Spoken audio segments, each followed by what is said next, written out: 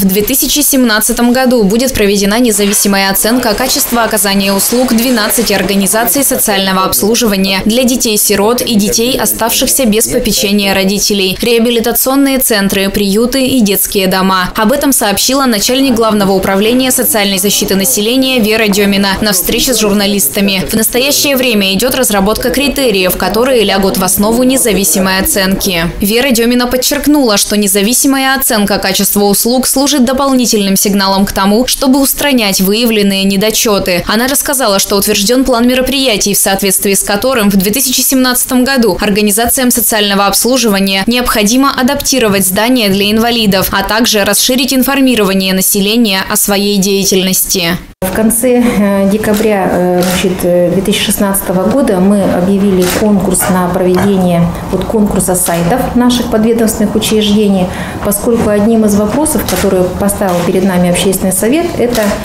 недостаточная информированность граждан о деятельности наших учреждений. В 2016 году при проведении независимой оценки качества социального обслуживания в качестве исследуемой базы были взяты 14 стационарных учреждений. Удовлетворен Удовлетворенность качеством предоставления ими услуг составила 91,4%. Есть, конечно, у нас и лидеры, есть у нас и аутсайдеры. Лидерами э, у нас э, являются это э, Лесниковский дом-интернат, это геронтологический центр «Спутник», это психоневрологический интернат, расположенный в городе Курдамыше. Аутсайдеры – это у нас Скоблинский и Галишовский психоневрологические интернаты и э, дом-интернат в Сафакулевском районе.